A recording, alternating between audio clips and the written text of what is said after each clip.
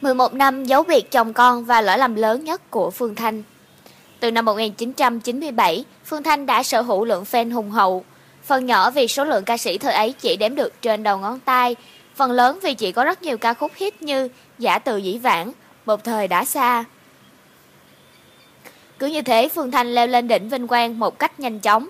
Chất giọng lạ, dòng nhạc đặc trưng, tất cả làm nên một Phương Thanh khó thay thế nếu chị không tự mình chững lại.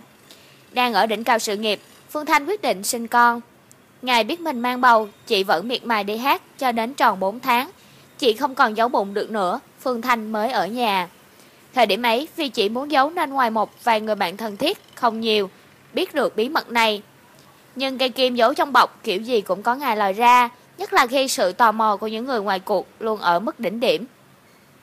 Không phải như bây giờ, năm 2005, cái nhìn của số đông khắc khe lắm, Phương Thanh càng im lặng, những tin đồn càng có đất để sinh sôi. Người ta đồn Phương Thanh chữa hoang, yêu bầu xô, có bầu thì bị đá. Mẹ chị lại khó, để xong chị chỉ có nước chết.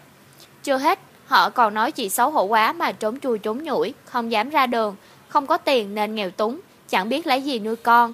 Chẳng ai nhớ lúc đó chị đã 32 tuổi, cộng thêm cuộc sống khó khăn những ngày thơ ấu đã làm nên một Phương Thanh mạnh mẽ, chính chắn. Bất cứ quyết định nào trong đời đều là một sự tính toán thiệt hơn, chứ không hề vụng dại. Và đứa trẻ có cha, Phương Thanh có chồng, chỉ là một vài lý do nên chưa tiện công bố. Sự thật đó chẳng ai chịu hiểu. Miệng đời gai gắt, nghe ít không sao nhưng nghe nhiều làm sao chịu nổi, nhất là đối với một phụ nữ mang thai.